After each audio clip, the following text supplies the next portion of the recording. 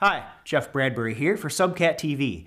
With me today I have Ron Keck, principal owner and engineer of the new Subcat Studios location in downtown Syracuse. Hey Ron. Hey Jeff, how are we doing? I'm doing great, thanks. I understand, Ron, that one of the great new features of this space you have here in downtown Syracuse is the amount of isolation that you get between all the rooms. That's correct. When we put this room together, the acoustic team claimed that we were going to get 60 dB of noise reduction between the spaces that we have here.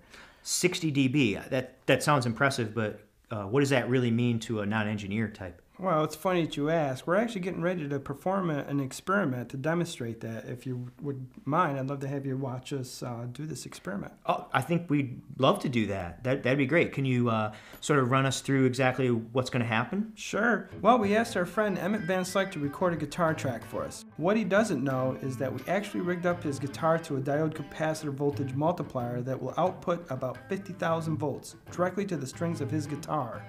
Is that dangerous? Probably, but that's why we chose Emmett. Okay. Um, hey, I think we should give this thing a go. Are we ready? I believe we're ready. Are we ready? Okay. Emmett? Oh yeah, I'm good. We're ready. All right, let's do this thing. All right, Emmett, you ready, dude? Just uh, play along and I'll get you in, okay?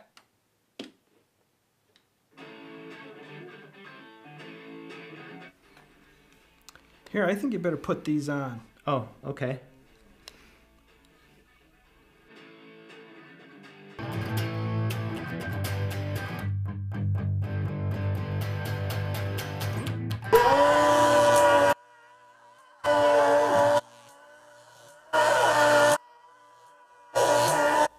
Well, as you can see, Jeff, uh, the isolation is quite significant. Yeah, you know, I, I think I could probably even sleep through that. I think you could too. Yeah.